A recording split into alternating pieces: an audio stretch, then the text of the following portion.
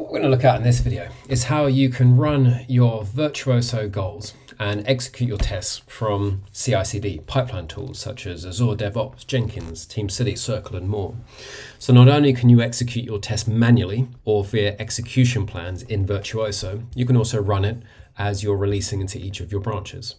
So how do we do that? So there are a couple of methods. One is that you can utilize the Virtuoso APIs. Now we're not going to be covering that in this video because actually the most common method utilized is to run a bash script as part of your pipeline which uses curl to execute the tests in Virtuoso and receive responses. And we do that, we have a, a, standard shell script available, which you can run in your pipeline. And the great thing here is you only need to populate into this a token, which you generate from the platform, and then the ID of the goal.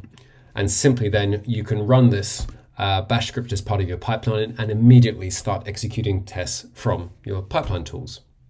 So let's take a quick look at how to generate tokens and get the goal ID. So inside of Virtuoso, we always recommend when generating uh, tokens to create a dedicated user just for that purpose.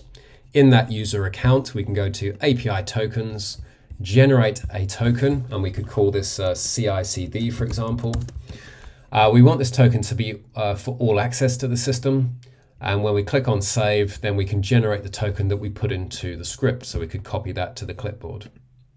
Then in terms of getting the goal ID, you just need to look and go back into the organization and the project dashboard and then pick the goal that we want to be able to run.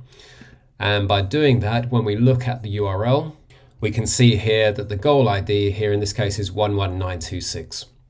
So when we look back at the documentation, we would simply replace Virtuoso token with the token we generated and ID of a goal to execute with the goal ID. By doing that, we can now run the script as part of uh, the job and execute tests via the pipeline. And when you do that, you literally would have the first part of the job is to upload your code that you want to release. And then the second part would be to execute the script. When that executes, it returns a pass-fail response and an execution link into the execution. And literally, once you've embedded it to see how that actually works, let's go ahead and run this pipeline. So let's run. And by doing that, we start the run, which would of course go and upload uh, the code. And we can see now that the uh, code has released into the branch. It's now executing the Virtuoso goal. So of course now when it does this, it's running the script to call into Virtuoso with a token and starts executing the goal. And of course then we have to allow time for that goal to complete. That could contain multiple journeys and so therefore it will take as long as that job takes to complete running through those. As we're doing this in Virtuoso, so it's literally now running an execution. We are launching the bots to be able to test uh, in the headless browser to run the tests.